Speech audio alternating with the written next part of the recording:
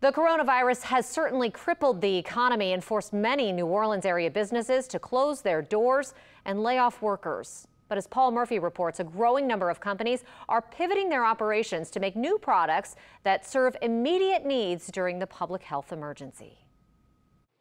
The coronavirus has depleted the supply of personal protective equipment for healthcare workers now treating very sick patients.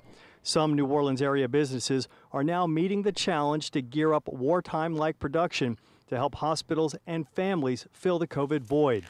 Scale Workspace is a product design and development firm in the warehouse district. CEO Lyle LeBlanc says the company is now mass producing 1,000 face shields a day for Ochsner Health. You can chemically sanitize it uh, very well, and we're also trying to add um, like a clear or a vinyl skirt on the bottom uh, so that when you put it on, you can have some protection from underneath. Celebration Distillation, the maker of Old New Orleans rum, is now putting its high proof alcohol to good use. Head distiller Matt Swigum just mixed up his first 600 gallons of hand sanitizer. Customers have been flocking to the St. Roch distillery to buy the product. It's just really incredible that we can be involved in something like this and help the community out and help our friends and family. The bottling line, which normally packages hot sauce at the Louisiana Pepper Exchange in the Lower Garden District, is sitting idle. Co owner Chris White says it will soon be converted to crank out about 18,000 bottles of sanitizer a day. Not many bottling lines are sitting idle right now that don't have production on them, so we felt like it was appropriate to be able to uh, utilize that resource to help the community and to help our business.